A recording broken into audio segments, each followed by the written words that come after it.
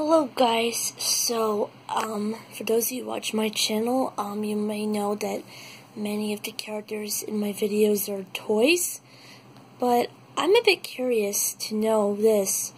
Do any of you guys have the same toys as me, or if you're new to my channel or just discovered a video of one of those toys, do you have the same toys as me?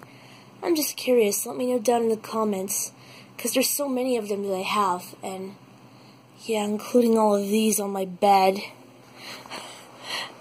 And yeah. So if you have any of the same toys as me, let me know, because I'd love to know.